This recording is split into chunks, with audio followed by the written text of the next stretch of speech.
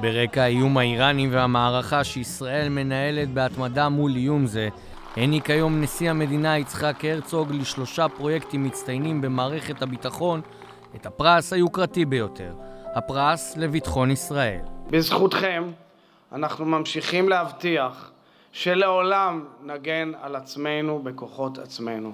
הזוכים בפרס השנה הם פרויקט לווייני התצפית אופק, פרויקט מסווג של יחידה 8200 שמטרתו פיתוח יכולות פורצות דרך, ופרויקט של המוסד שתפקידו לשמור על היתרון האיכותי של ישראל מול אויביה. כשאני רואה אתכם, את ההקרבה, את השליחות, את שיתוף הפעולה בין הגופים השונים במערכת הביטחון, אני מתמלא אופטימיות וזה דבר לא פשוט בימים אלו.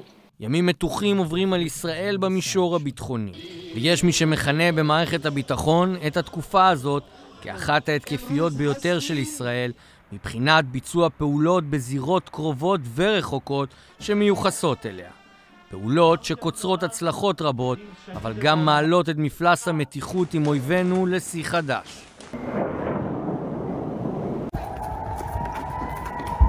האיום המשמעותי ביותר מעבר לעניין הגרעין הוא החשש ממתקפת כטב"מים על ישראל ועל אוצרות הטבע של המדינה. אתגר מורכב ורגיש שאת המענה לו שנותנת מערכת הביטחון בין השאר באמצעות היחידות שזכו היום בפרס לביטחון ישראל.